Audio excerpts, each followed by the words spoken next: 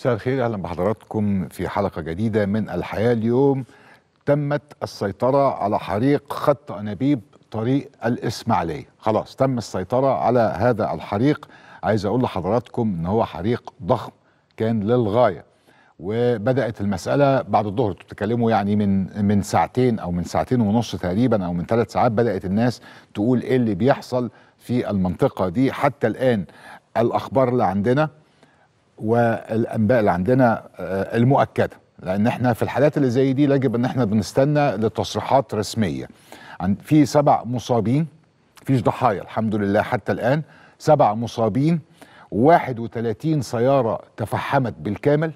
إيه اللي حصل؟ اللي حصل إن ده خط بترول شقير مسترد ده جاي من البحر الأحمر وبيعدي بطريق مصر الإسماعيلية إلى مسترد الخط ده حصلت فيه حريقة أو حريق والحريق انتشر زي ما حضراتكم شايفين بشكل قوي جدا جدا. فيديوهات كثيرة موجودة على الفيسبوك وعلى آه، آه، اليوتيوب لناس وشهود العيان اللي كانت موجودة. بس عايز أقول لكم أن التحركات التي تمت تمت سريعة جدا. عندك أكتر من 20 30 عربية إطفاء اتحركت. حماية مدنية قوات مسلحة اتحركت. وست سيارات من هيئة البترول وخمس لوادر وست سيارات قلاب من المحافظات للتغطية بالرمل.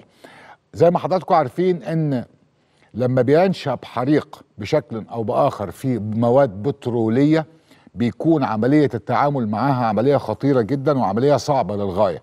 وعلشان كده هم جابوا اللوادر علشان تبدأ تردم مكان الخط اللي حصل.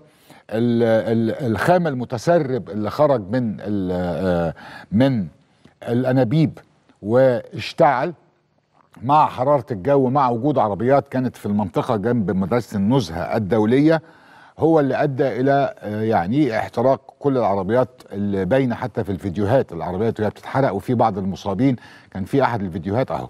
ناس بت بت بتسحب مصاب لأن فجأة النار بدأت تنتشر بسرعة كبيرة جدا لأن طبعا مواد لزجه بترولية محترقة ومنتشرة بره خط الأنابيب نفسه في آه، المنطقة دي. ولكن السيطرة عليه تمت آه، كمية الذعر اللي أصابت الناس والأخبار اللي كانت طالعة آه، كانت كبيرة جدا جدا في أول نص ساعة.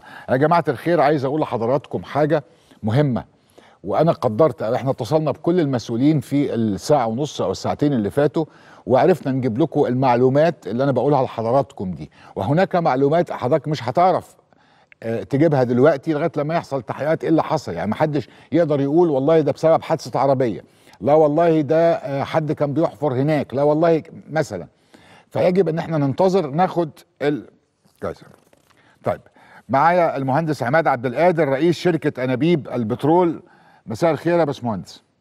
النور يا فندم ممكن توصف لي ماذا حدث؟ يعني الحريق آه، فين بالظبط؟ إيه الحكاية؟ هل ده بترول خام؟ حضرتك حضرتك في خط بترول بس بسرعة عشان بس معلش حضرتك أنا يعني بعمل أعمال الصحافه مهمة جدا والإعلام مهم جدا بس أنا بعمل والله عمل هنا مهم جدا. حضرتك باختصار الشديد خط بترول بيدفع من آه، شقير والسخنة إلى معامل تكرير مسترد آه، ماشي حضرتك حصل إن جالنا بلاغ إن في آه، خام طالع من الخط مكسور.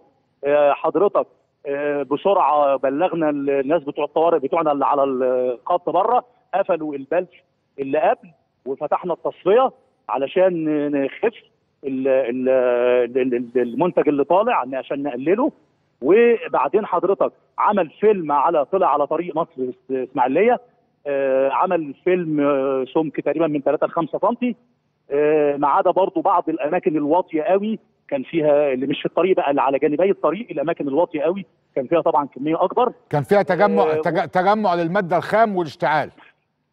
حضرتك الاشتعال حصل نتيجة إن ال- ال- العربيات الشرطة وقفت وقفت الطريق ولكن في بعض السيارات أنا كنت موجود في الموقع بنفسي وشفت بتحاول تعدي بأي طريقة. آه، نتيجة الإصرار على إنهم يعدوا آه، ويعدوا من من الأماكن اللي عليها خام اللي الشرطة بتمنعهم على إنهم يروحوا لها آه، حصلت شرارة من آه، إحدى السيارات فبدأ الحريق وعشان المادة الخام منتشرة فيلم فوق الأسفلت آه، انتشرت ال- آه، الحريق.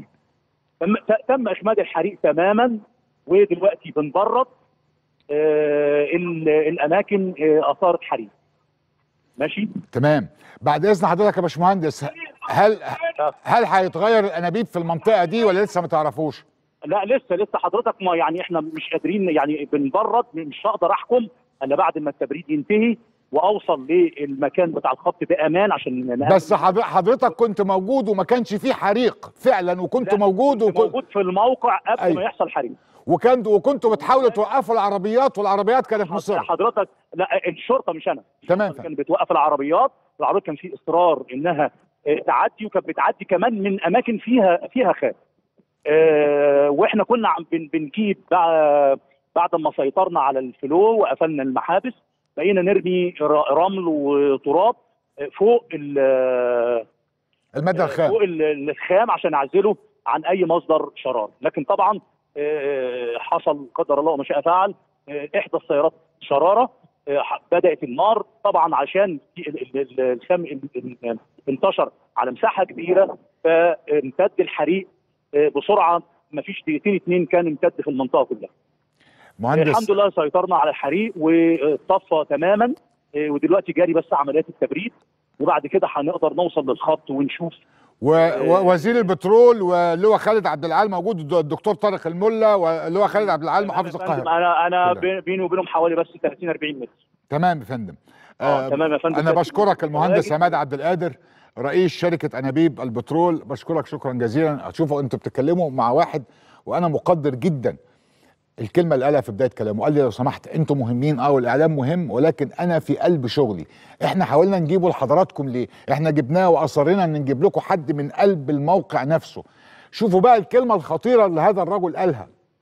قال لك إحنا لاحظنا وقفلنا وقفنا المرور وقفنا الشرطة وقفنا الطريق ولكن إصرار بعض العربيات إن هي تعدي وت- وتمشي وتعدي فوق الخام اللي على الأرض هو اللي أشعل هذا الخام.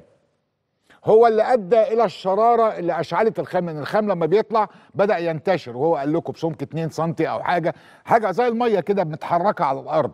فأنت رحت داخل في وسط كل الكلام ده الحمد لله الحمد لله إن كلها إجت تفحم في السيارات. 31 عربية تفحمت واحترقت بالكامل ومعرض سيارات وسبع مصابين ولكن تم السيطرة على هذا الحريق الضخم.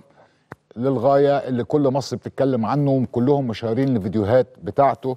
الحمد لله ربنا يسلم الجميع. وأرجوكم أرجوكم أرجوكم لما حد يجي يقول لحضرتك اقف لأن في حاجة زي كده يعني أنا اللي مستغرب له الكلمة اللي قالها بتاعت إن إحنا واقفين ووقفنا وقفلنا المحابس وخلصنا كل حاجة ولكن إصرار البعض رغم وجود الشرطة ورغم وجود رجال المرور.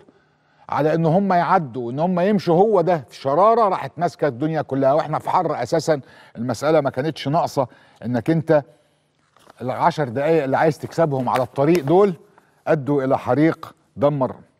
آه دمر دمر دمر ملايين حريق ضخم جدا وأدى إلى الحمد لله الحمد لله إن مفيش ضحايا ولكن كلهم فقط لا غير مصابين. تم نقلهم إلى مستشفى السلام آه فورا والسلام العام. ويتم التعامل معهم وبإذن الله يكونوا بخير.